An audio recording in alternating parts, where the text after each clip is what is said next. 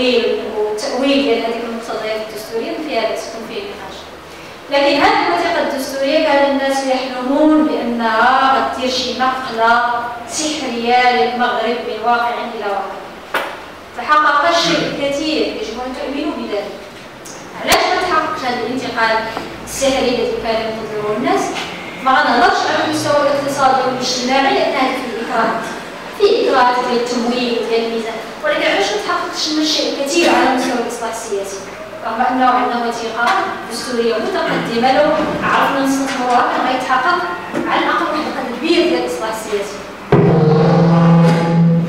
طبعا طبعا ملامح ديال الاصلاح السياسي كما في الحال ولكن الازمه الأولى اللي كتعرقل هذا الإصلاح التاريخي إلى مدى؟ هي أزمة حقيقية على مستوى النخب السياسية التي تعيش وضعية هشاشة. خلينا نفكر بالسؤال واش ممكن نديروا اصلاح سياسي كبير بنفس النخب ونفس الوجوه التي أنتجت أزمة على مدى 60 سنة في المغرب واش هادشي ممكن؟ راه الا بغينا نديروا الإصلاح. وجبنا دستور متقدم وبنيه قانونيه متقدمه شنو شكون اللي خاصنا؟ خاصنا البشر. ياك.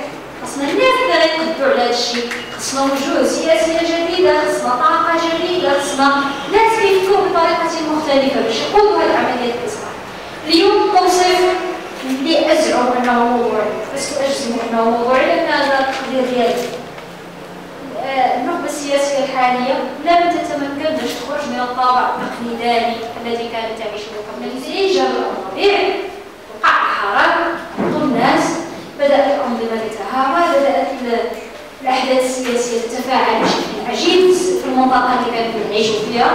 نزلوا الشباب للشارع في 20 فبراير عقبهم مباشره بين 20 فبراير و 9 مارس قرابه 19 يوم جاء الخطاب السياسي الذي كان يوجه الدستور الجديد نشات هذه اللجنه التي راسها الاستاذ المانوني خرج الدستور في في وقت قياسي كانت اليه ديال المشاورات السياسيه مع الاحزاب ولكن كانت كتفاوض شنو اللي نديرو في الدستور شنو اللي ما نديروش ولكن لم تكن النقاش السياسي الذي سيفضي إلى مقتضيات دستوريه عاديه فجات الوثيقه دستوريه ولكن ما لقاتش النخبه التي طلبنا لقات تقريبا نفس الوجوه ونفس العملية السياسيه باقيين عندنا زماصير الانتخابات باقيين عندنا معين الشكاير باقيين عندنا هذوك اللي كيحفظوا الدوائر السياسيه باقي عندنا شي واحد يجيب الفلوس ويدي شي دائره واخا واخا ما يكون عنده لا مشروع سياسي لا مستوى لا رؤيه لا لا امتداد ايديولوجي لا حتى يكون محتاج باش يكون